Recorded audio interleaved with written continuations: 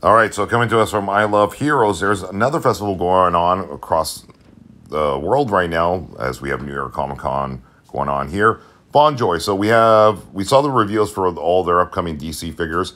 So this is an up close shot of the armored Batman here. So I know a lot of questions are, are coming our way. You know, what's the size? You know, when's it coming out?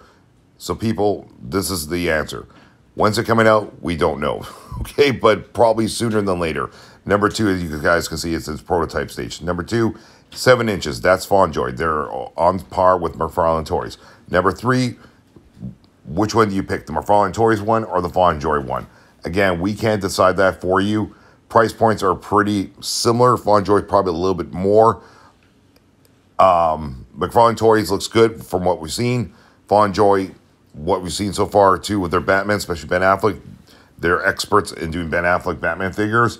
I'm not too sure about the other ones, like I said, with Joker and and you know Wonder Woman and Superman. But in terms of Batman, Ben Affleck, they know what they're doing. They just whoever works there FondJoy has the thing for Ben, I guess. I don't know, but their face sculpts are amazing with Ben Affleck. Even the armored Batman here, you can even see with the chin underneath, right? So again, it's entirely up to you guys, right? Which one you want to buy.